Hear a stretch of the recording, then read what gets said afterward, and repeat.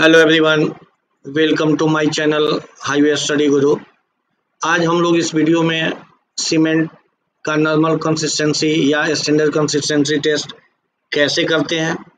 कौन से ऐसे फैक्टर हैं जो नॉर्मल कंसिस्टेंसी को प्रभावित करते हैं? और नॉर्मल कंसिस्टेंसी कहते किसे हैं? इसके बारे में जानेंगे।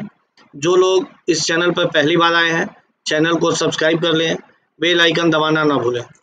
तो चलिए वीडियो हम लोग शुरू करते हैं।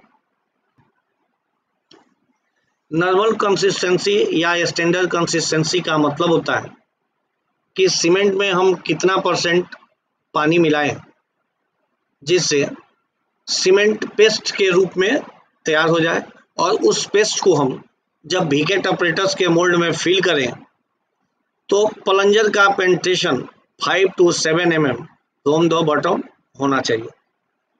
तो जितने परसेंट पर सीमेंट में penetration five to seven seven M आ जाएगा, वही हमारा नॉर्मल कंसिस्टेंसी कहलाएगा। कुछ ऐसे फैक्टर होते हैं जो नॉर्मल कंसिस्टेंसी को प्रभावित करते हैं, जैसे वेदर कंडीशन हो गया एक्सेसिव कंपोजिशन ऑफ़ सिल्का हो गया, और फाइनेस ऑफ़ सीमेंट हुआ। इसके चलते नॉर्मल कंसिस्टेंसी प्रभावित होता है।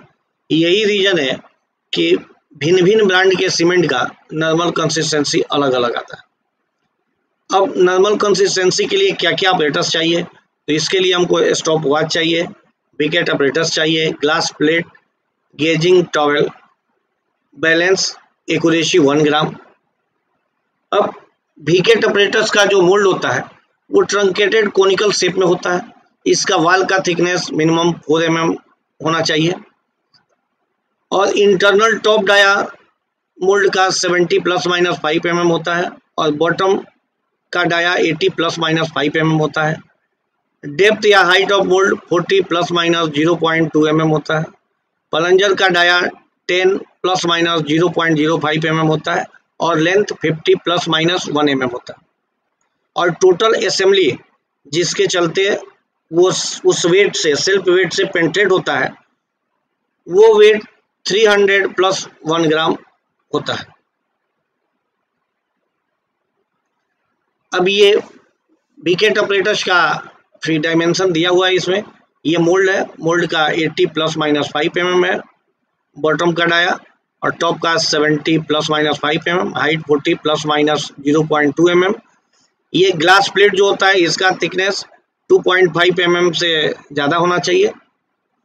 और ये ग्रेजुएट इसमें इंडिकेटर दिया हुआ है। ये इंडिकेटर एक एक एम में है ज़ीरो से फोर्टी तक होता है।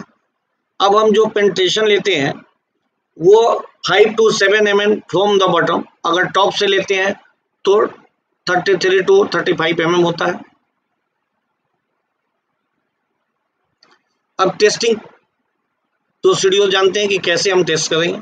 तो सबसे पहले हम 350 ग्राम सीमेंट का सैंपल लेते हैं। उसमें ये देखते हैं कि सीमेंट में कोई लम्स ना हो। अगर लम्स है तो हम हैंड से रब कर देते हैं और उसको बाउल या ट्रे में प्लेस कर देते हैं। लैब में टेस्टिंग के समय temperature 27 plus minus two degree centigrade होना चाहिए। लैब की humidity 65 plus minus five percent और relative humidity not less than 90 percent होना चाहिए। अब सीमेंट में हम जो वाटर लेते हैं, वो पोर्टेबल या डिस्टिल वाटर होना चाहिए। ये purely error and trial method है। इसमें हम अलग अलग परसेंटेज पे पानी मिक्स करके ये देखते हैं कि हमारा पेंटेशन फाइव टू सेवन किस वाटर परसेंट पे आता है। तो सपोज़ हमने यहाँ ट्वेंटी एट परसेंट वाटर दिए तो वाटर हुआ नाइन्टी एट ग्राम इसको सीमेंट में मिक्स किए। Mixing time three to five minute होता है, यानी तीन मिनट से कम नहीं होना चाहिए और पाँच मिनट से ज़्यादा नहीं होना चाहिए। अगर पाँच मिनट से ज़्यादा हो गया तो उस सैंपल को हम रिजेक्ट करेंगे। और फिर नया सैंपल लेके टेस्ट करेंगे। तो जैसे हम सीमेंट में वाटर मिक्स करते हैं, उसी समय हम स्टॉप वॉच द्वारा टाइमिंग स्टार्ट कर देते हैं। अब बीकेट ऑपरेटर्स के मोल्ड में हम सीमेंट पेस्ट सैंपल को भरते हैं।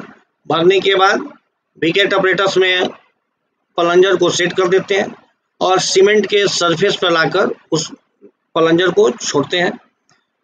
वो धीरे धीरे पेंट्रेट होता है। जो पेंट्रेशन होता है, उसका हम नोट रीडिंग नोट करते हैं। अगर हमारा penetration five to seven M आ गया तो हम समझेंगे कि ट्वेंटी एट परसेंट ही नॉर्मल कंसिस्टेंसी है। अगर नहीं आया तो पेंट्रेशन के अनुसार हम वाटर कंटेंट को कम या ज़्यादा करके फिर दोबारा रिपीट टेस्ट करते हैं। और देखते हैं कि कितने वाटर कंटेंट यानी कितना परसेंट वाटर लेने से हमारा penetration five to seven M आता है।